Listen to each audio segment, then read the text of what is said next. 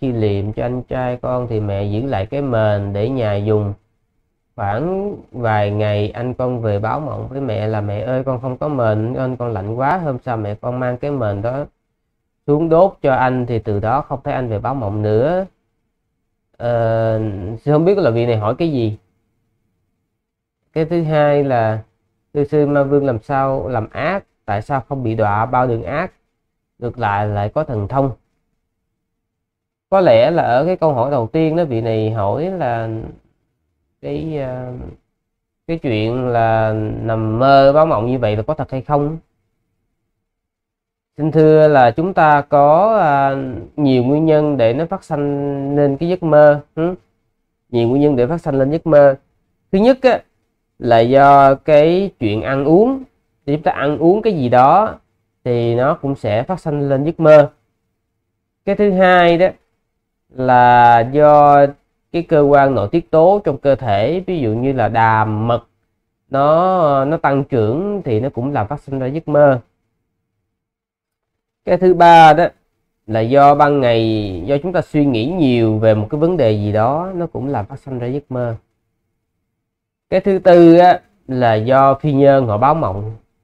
Và cái thứ năm á, là do nghiệp nó báo trước cái cảnh mà chúng ta sẽ gặp phải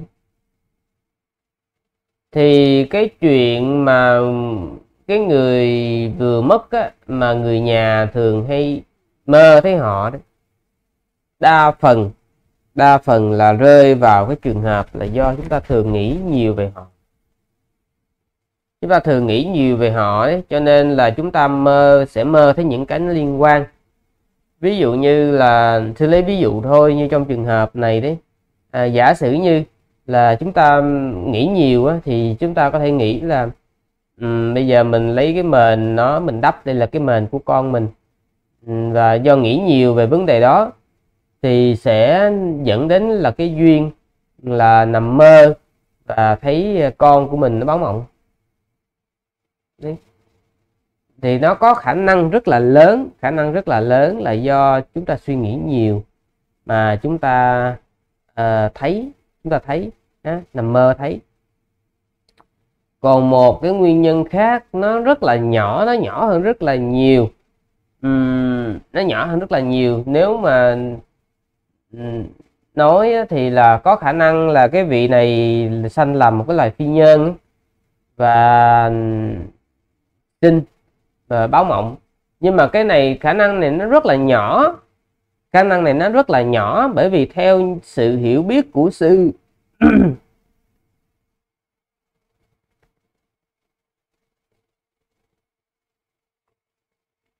Theo sự hiểu biết của sư về các loài phi nhân được mô tả trong kinh tạng ấy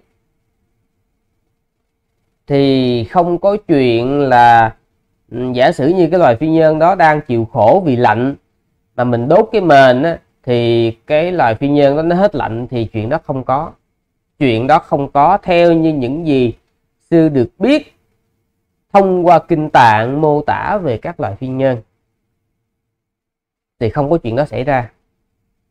Cho nên là cái này cái khả năng lớn nhất đó là do uh, người mẹ suy nghĩ nhiều. Cho nên là mơ thấy vậy thôi.